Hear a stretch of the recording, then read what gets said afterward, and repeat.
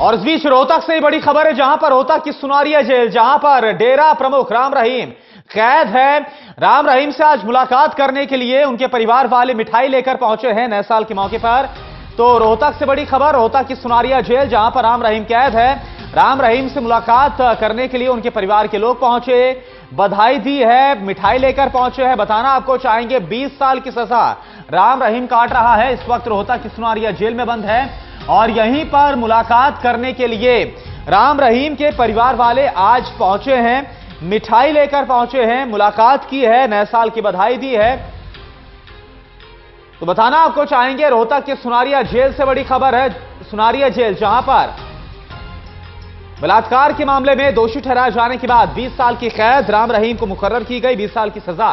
राम रहीम काट रहा है और आज नए साल के मौके पर राम रहीम से मुलाकात करने के लिए राम रहीम के परिवार वाले पहुँचे। सुरेंद्र सिंह इस वक्त हमारे साथ जुड़े हुए हैं। सुरेंद्र कितने बजे मुलाकात हुई है और कितनी देर तक मुलाकात चली है?